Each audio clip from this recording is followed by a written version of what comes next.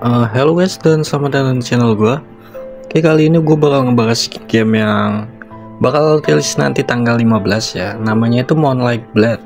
Untuk awalannya itu gue bakal ngebahas tentang keseluruhan jobnya yang menurut kalian itu bakal sesuai untuk kalian gunakan.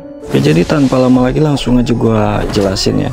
Di job awal itu ada job yang namanya Duelist di sini itu tipe DPS ya. DPS itu maksudnya damage per second. Bahasa simple itu damage yang sakit gitu. Jadi melee itu maksudnya untuk jarak dekat. Dan di sini ada keterangan statistiknya itu masuk dalam damage survival mobile control dan kesulitan ya. Biar gua jelasin pakai bahasa simple itu gimana ya.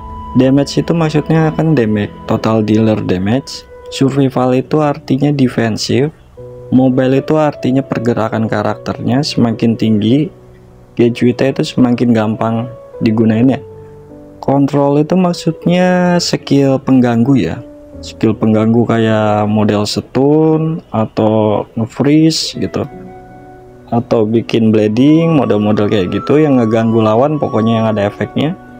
Dan untuk tingkat kesulitannya itu maksudnya tingkat kesulitan penggunaan karakter jadi intinya itu duelist itu tipe damager tapi jarak dekat ya. Oke okay, next kita masuk ke job kedua yang namanya muse ya.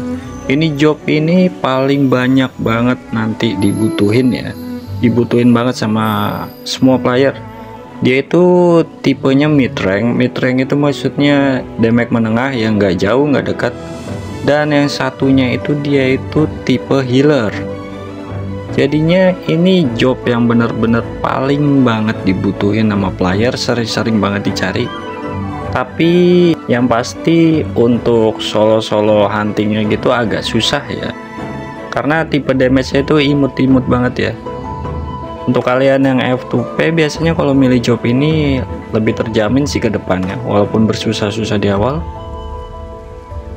Oke job job selanjutnya itu namanya Sentinel ya Sentinel ini jobnya itu lebih mendominasi soal defensif atau tanker ya.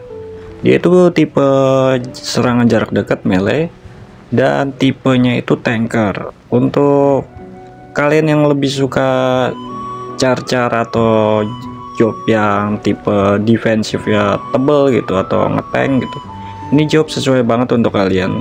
Yang role sesuai sama tanker pastiin untuk milih job sentinel ya jadinya ini kalau untuk F2P masih masuk juga sih karena defensifnya tinggi gitu. Dan pasti kalian itu biasanya buat ngetebein bos di depan ya jadi pasukan depan.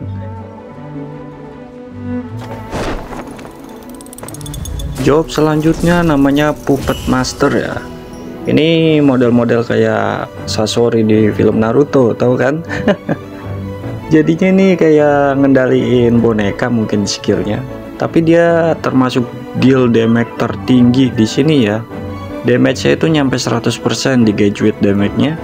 Tapi untuk tingkat kesulitan mainin karakternya juga penuh.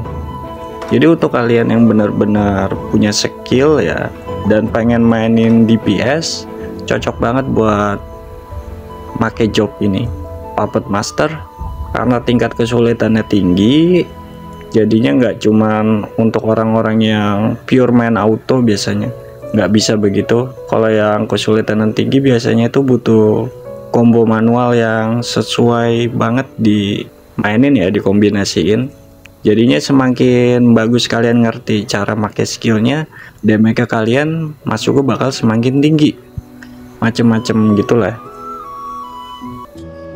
Oke job selanjutnya namanya UA Grand ya ini job bener-bener spesial sih ya. Kalau ini job itu masuknya di tipe jarak dekat melee tapi dia itu tipe yang crowd control gitu ya.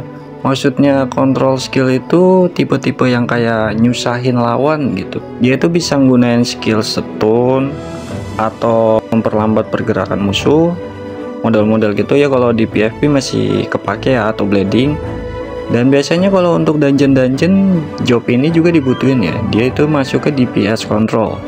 DPS control itu biasanya diperluin untuk debuff kayak debuff defense-nya defense bossnya malah jadi ngurang gitu.